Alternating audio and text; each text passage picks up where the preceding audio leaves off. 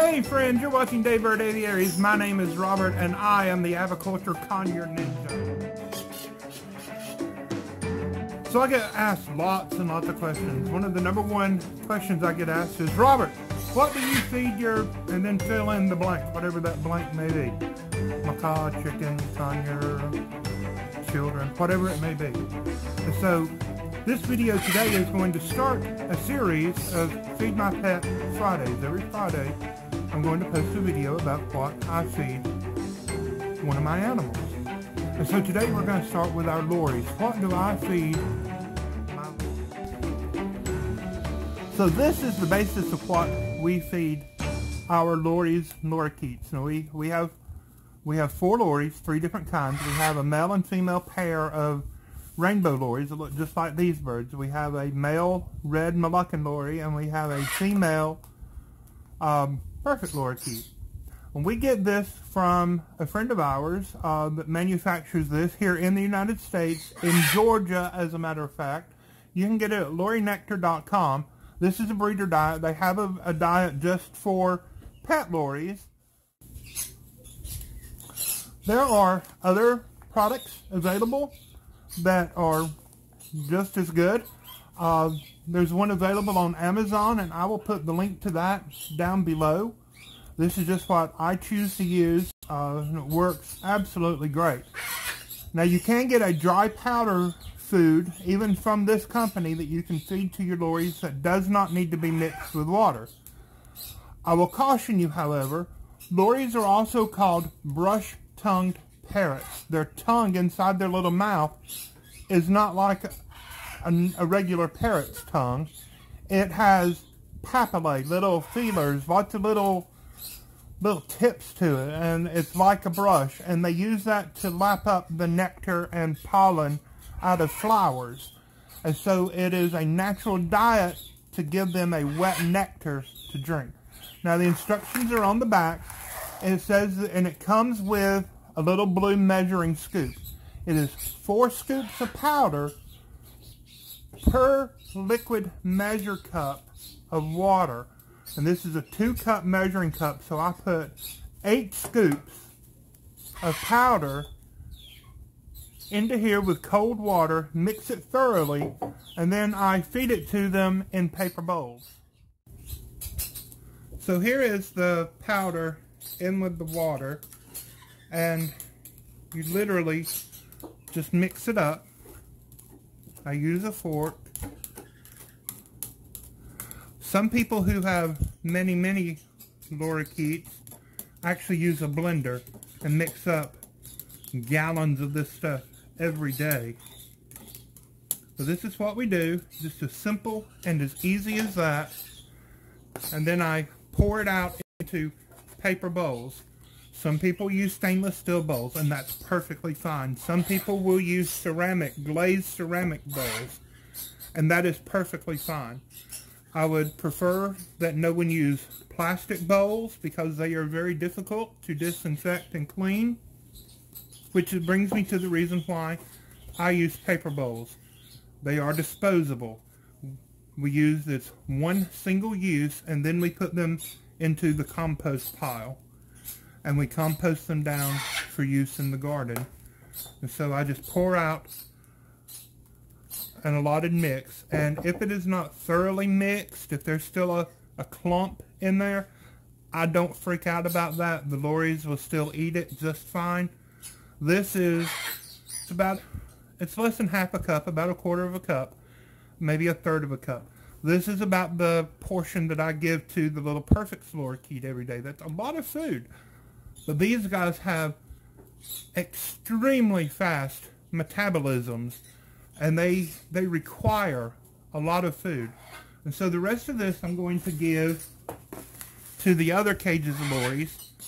Now one cage has the pair of rainbow lorries and the other cage has just the big red lorry. And I give them about the same amount of food per each per cage of those two because the rainbow lorries, even though there are two, they are smaller than the red lorry. And so they get about three times as much as what the one little tiny perfect lorikeet gets. Now, in addition to the nectar, I do give my my lories fruit. I give them the largest variety of fruit that I can possibly manage, which is sometimes difficult here in rural Alabama. If I can find tropical fruits, that is what I prefer. I have a very ripe mango here. I've already cut the pit out of it. That's what this is. I'm going to give this to some macaws. This is very mushy. This has been in our refrigerator. That's why it has condensation all over it. This is how they prefer it. They like soft, mushy foods. If you give them a hard pear or a hard apple, they will eat it. If you give them the choice between a hard apple and a soft banana, they're going to choose the soft banana every time. The softer the fruit, the better. Cantaloupe, soft, juicy, delicious cantaloupe is something that they really, really love. Now with this, I cut this up into small pieces. All the foods that I give to them, I try to give it to them in pieces about half an inch square because they're messy. They will take a big piece of fruit out of the bowl, they'll take one bite of it, and then they'll drop the rest to the floor of their cage, or in my case, it goes through the floor of the cage to the ground. Now, the chickens at my house will come along and clean up anything that the parrots drop, but that's wasteful and it can be expensive. And so I cut it up into small pieces so that they can take bites out of it. And then if they drop it, not a lot's wasted. I also have a kiwi I'm going to cut up for them.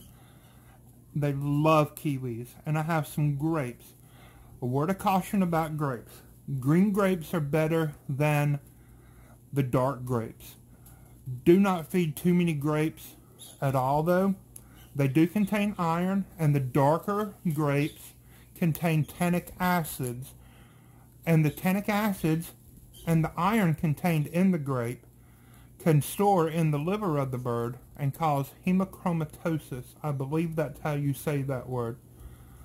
But it's excess iron in the the liver of the bird and it can cause trouble.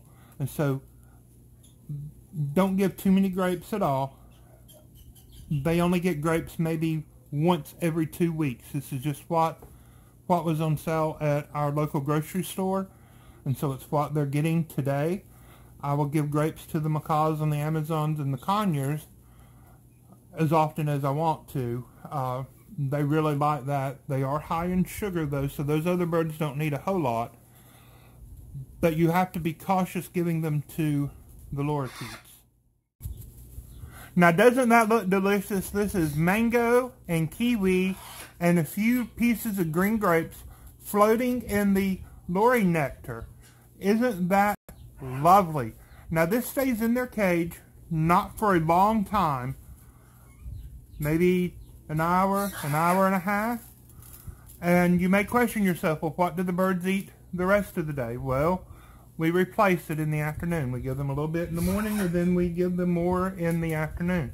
But in their cage, always contains a pellet. Now, this is a low iron soft bill pellet. This is manufactured by Mazuri.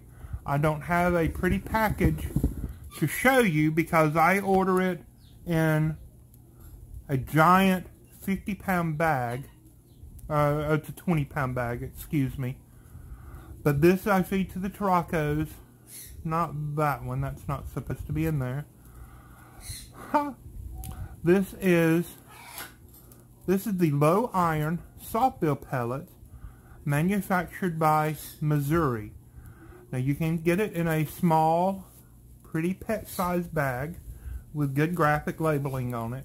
However, I don't have that to show to you because I ordered in a large 20-pound bag. I give this to the lories. I keep a bowl of this dry pellet in their cage at all times. This is not an ideal diet for them to be their only diet, but it is a soft pellet and it doesn't mold easily. I leave this in the cage at all times so that if something were to happen, the birds have food that they can eat. I don't know why I'm breaking this apart. I guess to demonstrate that it is soft. But there it is. We give this to the Turaco and to all of our lorikeets. And they all absolutely love this stuff. All of the birds would eat this if, if I were to give it to them. A lot of times the macaws in the house will sneak over and they will get the pellets from the Turaco when we have his cage open flying around. Isn't that awesome?